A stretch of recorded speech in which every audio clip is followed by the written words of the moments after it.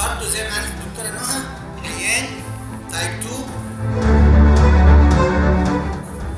بقاله 8 سنين مش لسه يعني قديم وبعدين ما عندوش medical